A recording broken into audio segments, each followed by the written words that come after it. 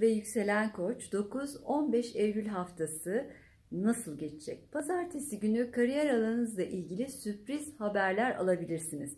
Özellikle para alanı ile ilgili güzel bir kazanç söz konusu. Salı ve çarşamba günü aşk, sosyal çevrenizde bir hareketlenme var. Deneyimlerinizle adeta kendi kendinize ilaç oluyorsunuz. Salı şanslı gününüz.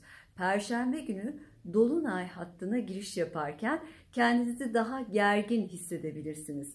Yüksek eğitim, uluslararası yayıncılık, ithalat, ihracat, yabancılarla ilgili alanlarda şansınız artıyor. Cuma günü özellikle balık burcunda gerçekleşecek olan Ay Neptün kavuşumu size dua, niyet, meditasyon çalışmalarınızın fayda sağlayacağını gösteriyor.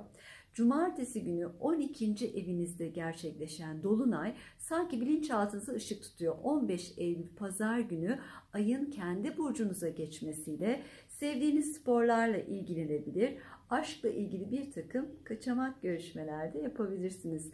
Arzularınız gerçek olsun. Mutlu haftalar.